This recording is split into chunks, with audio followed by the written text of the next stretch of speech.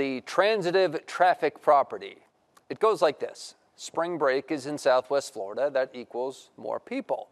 Lots of people equals lots of cars. Lots of cars equals lots of traffic. So therefore, spring break equals lots of traffic.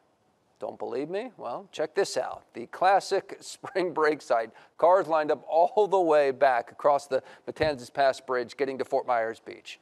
NBC2's Chandler Blackman fought through the traffic so that you could see how the town is handling this year's visitors. Day one of spring break for many students in our area and the beaches are packed on Fort Myers Beach today.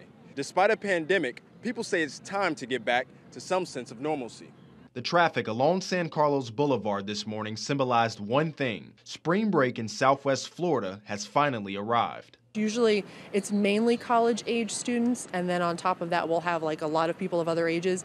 This year it's it's more mixed. It's maybe like 60-40 college age kids versus people of other ages. Whether if it's escaping the cold or relaxing on break, people from all over were looking forward to the sunshine and the sand. People are just out here having a good time, enjoying themselves, the beach, the beautiful weather, um, and all of our fun activities we have going on. Even with the pandemic still at hand. The space is here, the distance is here, COVID is still going on, but we outside, we enjoying this spring break. I'm pumped.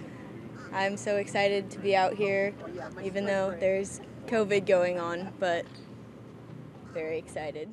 Now, if you plan on coming to Fort Myers Beach, you'll need extra time getting on and off the island.